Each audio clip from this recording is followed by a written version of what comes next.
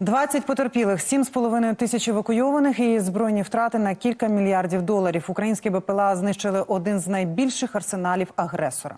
У ніч проти середи близько 100 дронів СБУ, ГУР і ССО поцілили в склад у місті Торопець Тверської області. Детонувало з такою силою, що в зоні ураження зафіксували чимало сейсмічних поштовхів. А заграва в небі нагадала жителям ядерної держави, що у цю гру, як то кажуть, можна грати удвох. Усі деталі української операції зібрала Анна Басова. Про те, що в Тверській області щось відбувається, дізналися навіть через космос. О, смотри, смотри, смотри, смотри, йде сюди. Офігеть, сейчас.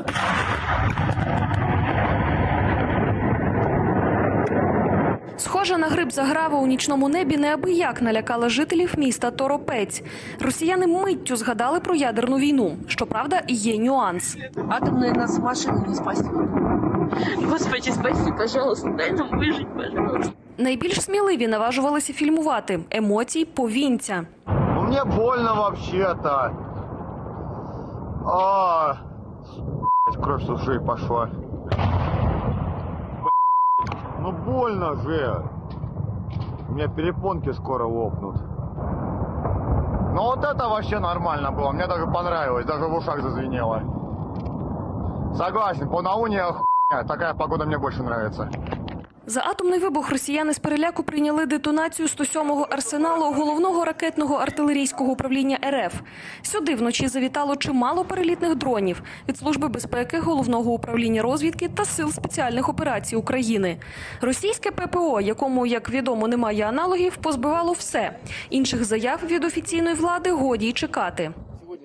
Сьогодні в результаті прильоту безпілотних літальних апаратів на територію Російської Федерації відпрацювала система ППО Міністерства оборони. Безпілотні літальні апарати були збиті. При падінні відбулася пожежа. Зараз займаємося евакуацією населення. Багаття від падіння збитих уламків має ось такий вигляд. Щоб незначна, на думку губернатора, пожежа не накоїла ще більшого лиха, з міста вивезли більш як 7 тисяч жителів.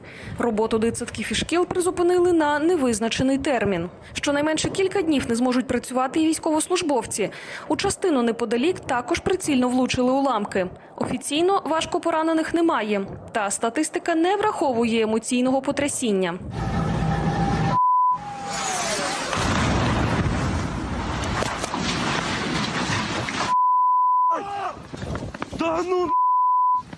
Это беспилотник был, я управлял. Не, это беспилотник был. Не, это точнее истребитель был. На ураженому українськими дронами складі росіяни зберігали ракети для градів Сі-300 і Сі-400, точки У, а ще іскандери та північно-корейську балістику та чимало інших боєприпасів обсягом до 240 тонн.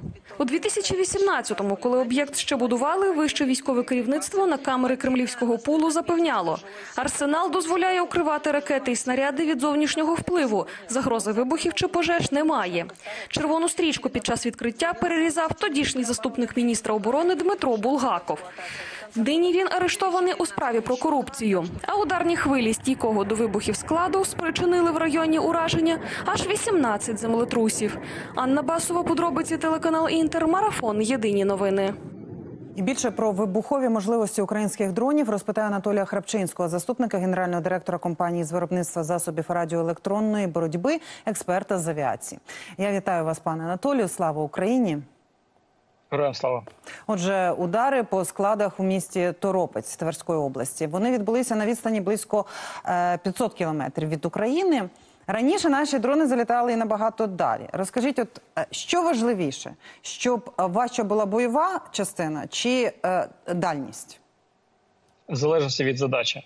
Тому ми кажемо, що в залежності від задачі, яку треба виконувати, тут треба розуміти, що треба важливіше або вибухова частина, тому що, наприклад, для підриву складів з озброєнням треба менша вибухова частина для ударів, наприклад, по аеродромах, де можуть е, базуватися літаки, для того, щоб уразити якомога більше літаків треба, наприклад, е, більша частина, і бажано, щоб це було осколково, е, для того, щоб е, завдати більшої шкоди. Але тут треба зауважити, що в принципі е, український ВПК за ці два з половиною роки е, спромоглось побудувати різноманітні типи безпілотних систем, ударних безпілотних систем, які дозволили зробити е, удар по е, цьому арсеналу е, ймовірним, тому що слід зауважити, що до цього ми били по різним складам, але саме такий великий склад вдалося саме зараз. За рахунок чого? За рахунок комбінованого підходу з використанням різного типу безпілотних систем, можливо, з реактивною тягою. Але тим не менш, е, слід зауважити, що до цього передбачалося збір інформації, тому що саме тоді, коли більша частина певних засобів ураження знаходилась просто неба, було використано можливість е, зробити такий ефект доміно, коли е, все, що почало детонувати зверху, призвело до детонації навіть в підземних складах. Ви згадали з реактивною тягою. Є припущення, що це могла бути паляниця? Безумовно, це могла бути поляниця, це могли бути інші типи безпілотних дронів е, реактивною тягою, які виробляє Україна. Тому що насправді е, тут е, я постійно кажу, що у нас є єдина задача це ураження військових об'єктів російських, і безумовно, будь-хто з нас, хто виробляє якісь якесь знаряддя. Цьому допомагає, тому тут не важлива назва, тут важлива ефективність саме українських безпілотників. Пане Анатолію, от ми дивилися і разом з нашим гостем у студії Денис Попович, військовий оглядач е, сюжет. І перше питання, де було їхнє ППО, і як правильно зауважив е, влучно е, пан Денис. А як же вони так назовні лишили стільки боєприпасів? Активне бойові дії передбачають постійне постачання з виробництва. Можемо припустити, що скоріш за все було отримані ешелони, наприклад, корейського тих же самих е, снарядів або тих же самих ракет. Тому, в принципі, зрозуміло, що там розвантажились, не встигли перенести.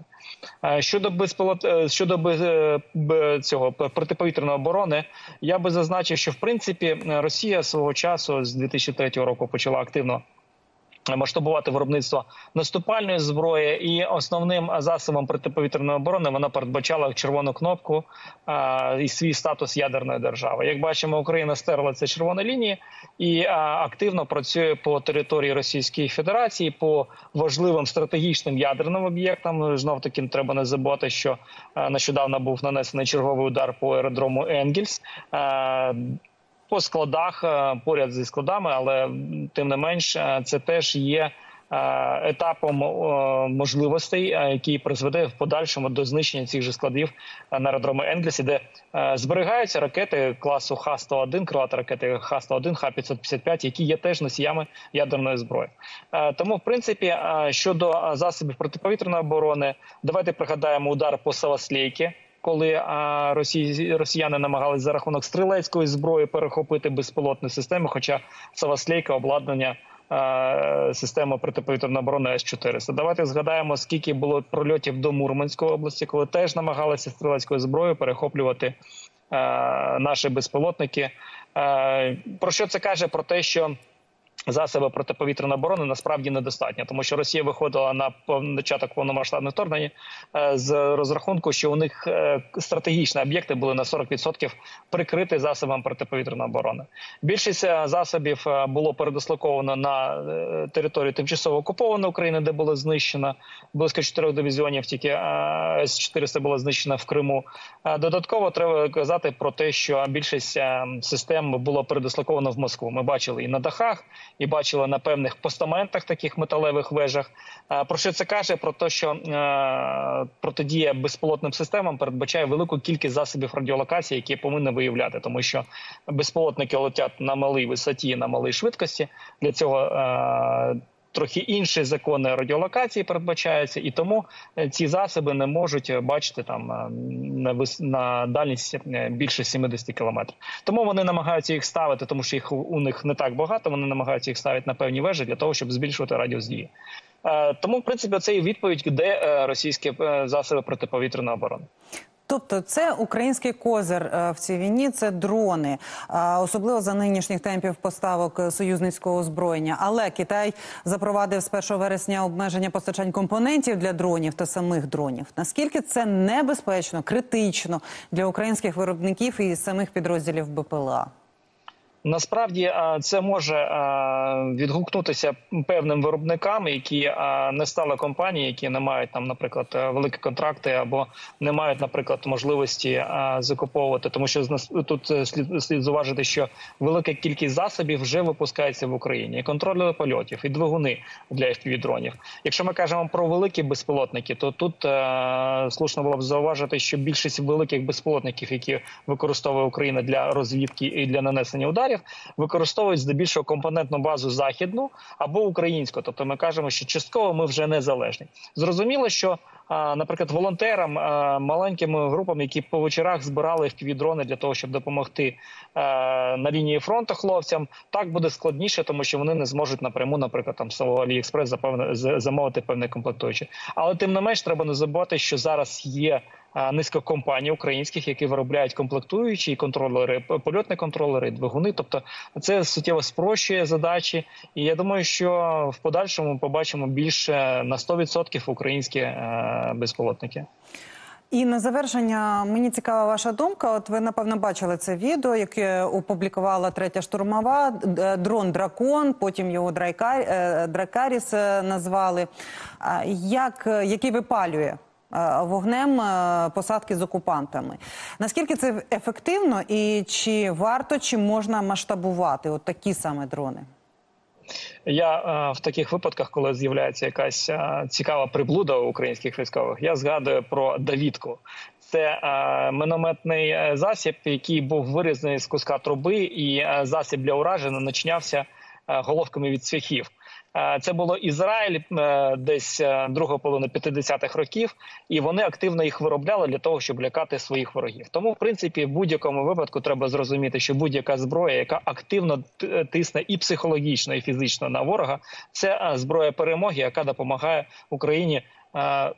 Приближати на якомога більше і ближче тоді, коли ми ска- скажемо, що ми точно перемогли вже такого такого ворога, як Росія. Пане Анатолію, я вам дякую за цікаву розмову. Це був Анатолій Храпчинський, заступник генерального директора компанії з виробництва засобів радіоелектронної боротьби, експерт з авіації.